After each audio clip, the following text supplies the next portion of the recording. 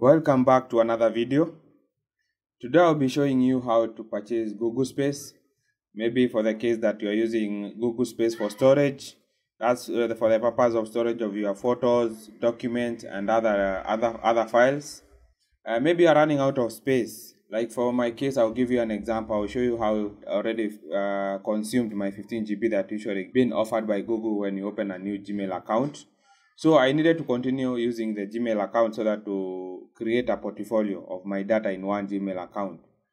Guys, before I proceed, remember to subscribe, like and share, give us a thumbs up and give us a comment on what to cover and give us a suggestion on what to cover. I'll proceed through the steps on how to purchase or you need to add your storage in the Google Drive that you are using. I'll take you step by step First, I will need to go to my Gmail account that I'm using. You can see that uh, my storage is showing it's uh, 15.02 out of 15 GB. It's already consumed. I'm out of storage. So I needed to purchase um, more storage so that I can be able to continue storing my file. You can see there my account is indicating my account storage is full. So I'll take you steps on how to purchase the Google Space. Uh, you need to go to your phone or the gadget that you are using according to your drive. Go to Play Store and uh, the top right corner, there is a Google account that you have already signed in your Play Store account. You scroll down, you it will take you to payment and subscription.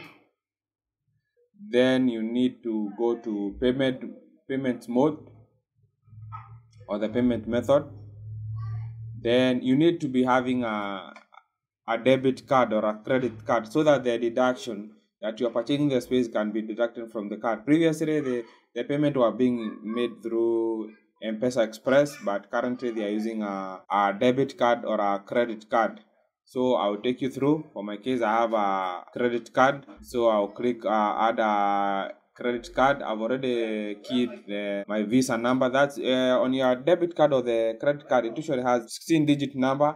There's a CCAV code. They are usually down there on the back plate of the debit card or a credit card. So you need to key in those details. Then the payment method have already been uh, allocated in the payment section. So I need to go back. Yeah, you can see the already the subscription has been already been discovered.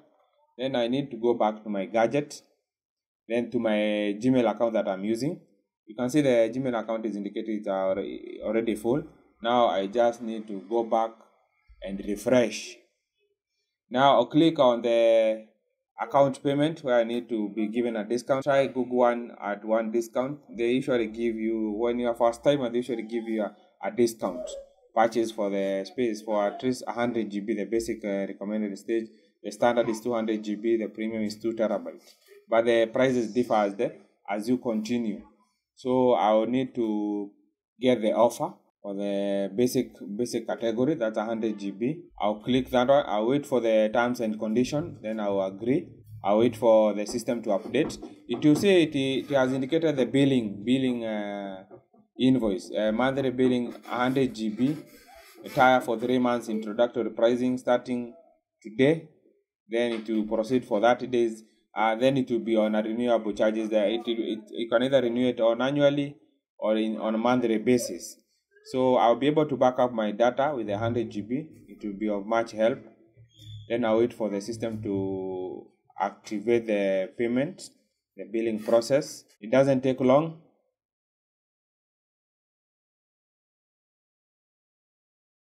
Then your payment successfully. Do you require authentication of purchase? So do you need to be to prevent authorized purchase? Are You required to authenticate for all purchases made through that account yes i just need to to click yes then you click ok. Uh, now you have managed to get the space. Do you want to manage? No i don't need to manage. I've already uh, allocated my google space into segments according to the files that i'm uploading. Then uh, i've already the payment has already been successful. I just need to go back to my gmail account and refresh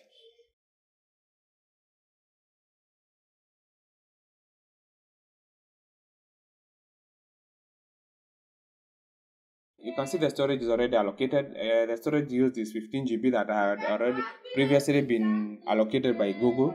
Now I have uh, out of 100 GB, so I have around uh, 85 GB to consume. And now you can see that's how my google drive looks like uh, google photos i've allocated 14.4 gb gmail is accumulating 491.9 mb google drive is uh, accumulating uh, 45.7 mb so i already have the space to store my data.